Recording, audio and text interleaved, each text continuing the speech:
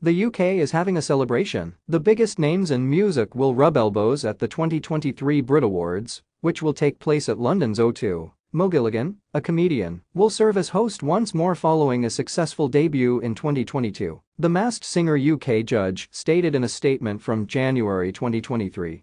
Hosting the Brits last year was one of the most phenomenal moments of my life. I've been so proud to bring our amazing audiences even closer to their favorite artists. And I've been so honored to get to know the incredible team behind the biggest night in music. We're going to grow even more this year, I assure you, let's move. Even though the awards ceremony is held on the other side of the Atlantic, numerous American artists have received nominations in the global categories. Along with Nigerian singer Burna Boy, Beyonce, Kendrick Lamar, Lizzo, and Taylor Swift are all competing for the title of Best International Artist. But the evening won't just be about bestowing honors musicians like Harry Styles, Wet Leg, Sam Smith, and Kim Petras will perform as well. For their pop duet Unholy, Smith and Petras were nominated for Song of the Year. Smith, a non-binary person, spoke out against the show's gendered classifications in 2021. The British eliminated their gender-specific categories in November. Tom March, who at the time served as the awards show's chair, said in a statement